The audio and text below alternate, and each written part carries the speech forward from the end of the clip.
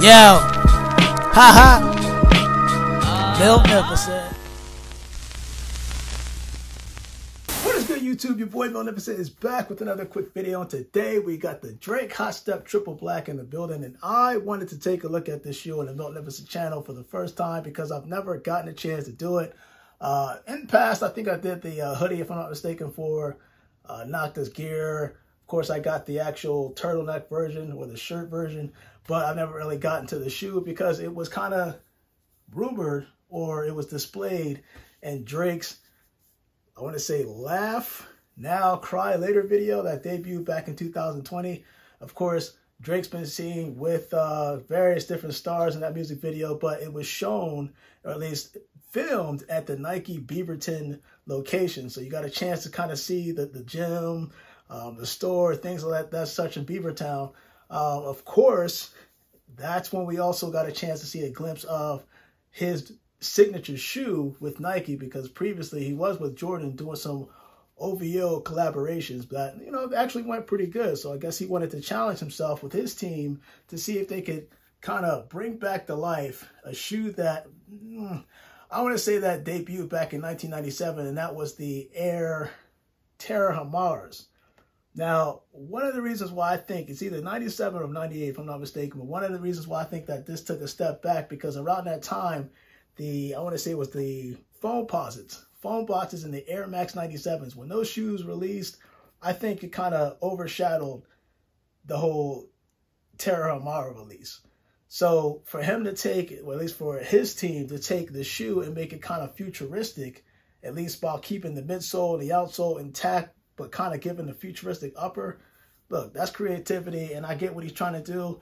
Um, how he chose to actually get that particular shoe, I think I don't know if he wanted his team wanted to challenge themselves to see if they could market something that again a shoe that we've never really took interest in even back then but you know, kind of took interest now due to the fact that it's not really a, it's not known to be an everyday shoe. It's kind of like a hiking type running shoe um, for rugged, you know, terrains and stuff like that. So we'll, we'll see, we'll see. But anyway, let's just get into the box itself. You can see right here, we got Nocta logo printed right there. This is a size 13 for your boy. And of course, you got the Nocta logo on the other side. But without that said and done, now let's get straight into the box because your boy has to see this. I felt like this shoe was an easy style. And I mean easy style to wear. Because triple black, you can't get any wrong with that. Ooh, man, this, this looks good. This looks good. And I will say this. I did get a chance to put these bad boys on. And I will say for most people that's wearing these shoes for the first time, it's not going to feel plush on the upper. But it's one of those shoes to where the more you wear it, the more comfortable it will feel. Trust me, that G-Tech technology that you see on the outsole, engineered in the shoe itself, it's one of those shoes where you can wear or you'll feel comfortable wearing, you know, whatever the rugged areas are. You you don't have to worry about you know damaging the outsole. Uh, of course, it has those gel pods, which are soft, kind of like in the middle towards the blue portion. Of course, it's a little bit harder as you get towards the black portion of the outsole. It's designed that way just for heavy, I'm going to say trails. But of course, you do see that G-Tech AWR technology on the bottom because it is within the midsole. And of course, you got that exposed air unit on both sides of the shoe. And I like what they did because when you look at this version, to me, it's a futuristic version of the shoe, at least the upper. Again, the bottom towards the outsole and the midsole, they kind of kept as close as possible to the OG uh, Terra Humara that you can see right here. But of course, I like personal touches that they did with this. Of course, they did keep the Nike swooshes, if I'm not mistaken. That's on the medial side. Uh, you can see that it does feature six Nike swooshes uh, towards there, but it also does on the actual OG. So they at least kept that intact. And of course, you got the Nike swooshes that sit right here. I'm not sure if this is, I want to say this is kind of plasticish, metalish, but no, this is this is plastic. No, let's not kid ourselves here. so we got the Nike swoosh that sits on the toe box. And of course, you do have it on both the lateral side of this side of the shoe and of course this side of the shoe. And if well, you look on the back, I like the fact that they put these logos, the G-Tech logos that sits aside towards the heel. And I want to call like these are like rubberized it, looks like it, it looks like metal, but there is type of reflection on it. So you can kind of see yourself. If you look in it, you can see a reflection of yourself. So it definitely has that reflection on it. Now, the 3M is actually kind of different on here. You can see the 3M hits slowly, if you look at it carefully, on the upper. So those little rivets that you see on the shoe in between, kind of like right here, uh, you'll see a still picture of the shoe itself with the 3M lighting, or the, actually the lighting showing the 3M, and then another picture kind of side by side showing what it looks like on the regular. But you can see the difference there. And of course, towards the liners, where the, the laces are, that is also 3M. I didn't really know that, but again, you'll see it's still a picture with a side-by-side -side right there as well. And of course, on the tongue itself, it does have the Nocta logo, right?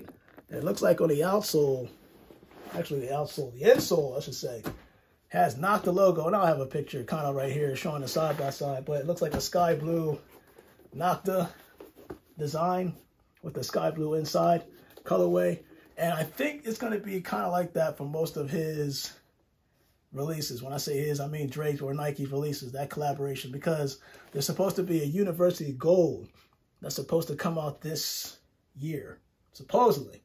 Supposedly. It hasn't been, there's no confirmed date from Nike just yet.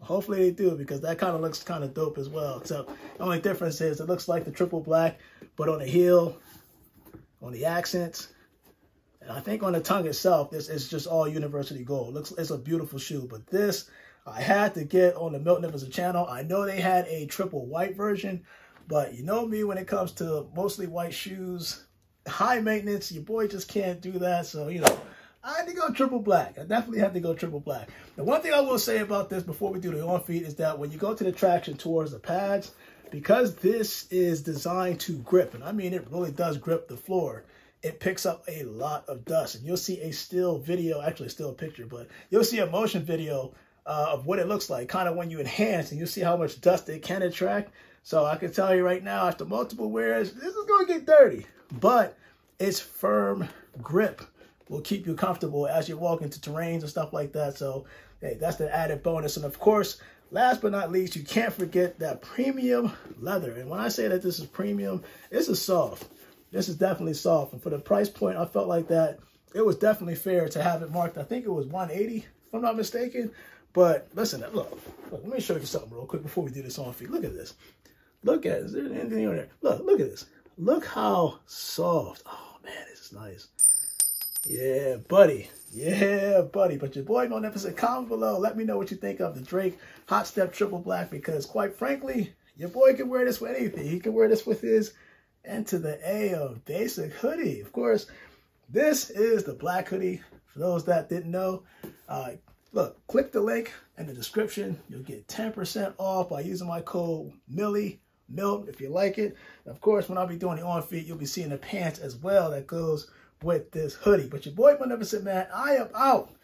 Drake's Time Nike. Whew. This triple black. Hot step. Yes.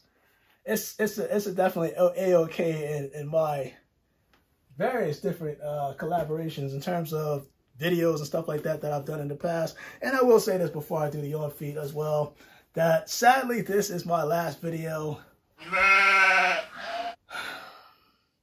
At least with the Apple Watch. This is my Series 3 watch that I've been doing for the past, I want to say three or four years, doing these YouTube videos, sharing everything with you guys in terms of the review, but this will be the last video because your boy has upgraded to a newer version that'll be seen on future videos actually kind of soon. So your boy Miltnificent Man, now I'm out. Let's do that on feet for the Drake Hot Step Triple Black. And you guys, stay blessed.